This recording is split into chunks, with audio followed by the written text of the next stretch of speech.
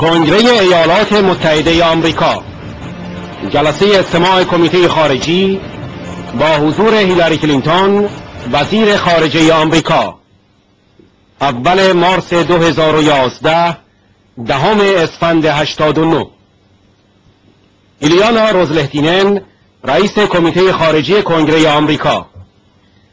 من خواستار حفاظت آمریکا از ساکنان کمپ اشرف شدم که بسیاری کمکنون در اینجا هستند نسبت به اقوام خود در آنجا نگران هستند and uh, I uh, ask for uh, uh, for U.S. protection for the many residents of Camp Ashraf, many of who are here today in the audience and uh, are, are concerned about their relatives.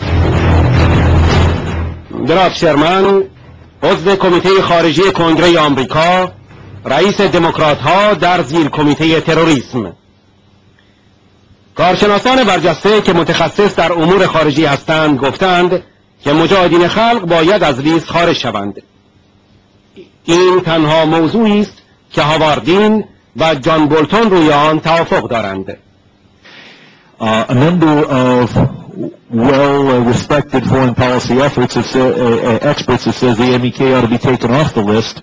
This is the only thing that Howard Dean and John Bolton agree on.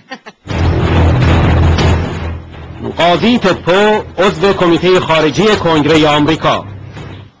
ما باید آنها را از لیست خارج کنیم و امیدوارم که کنگره نیاز نباشد که این تصمیم را بگیرد و وزارت خارجه خودش این تصمیم را بگیرد و وزارت خارجه اقدام به خروج از لیست بکند.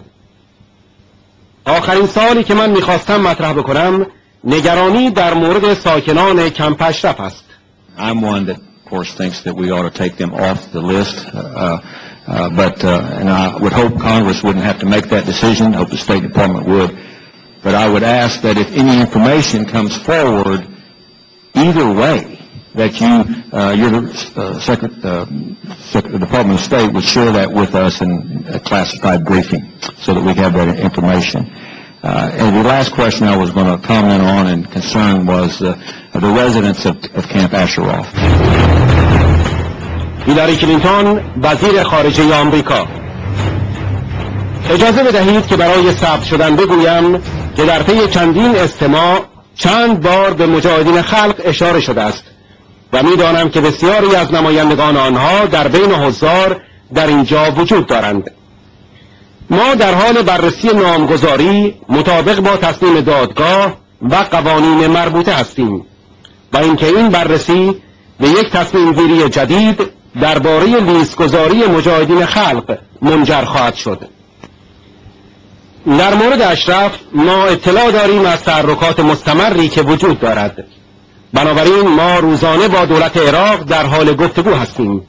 با ملل متحد و هر کاری که میتوانیم انجام میدهیم که آنها را حفاظت کنیم And let me just for the record say too, because there have been several references during the hearing uh, to the MEK, MEK, and I know there are many uh, representatives uh,